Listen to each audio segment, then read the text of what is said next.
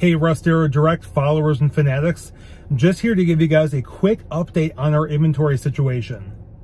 As I mentioned with my last couple inventory update videos, our vehicle selection does change on a pretty regular basis. So if it's not here today, it might be here soon. And don't forget that we have over a dozen other locations throughout Wisconsin, so that if we don't have it here, we can always bring it here for you.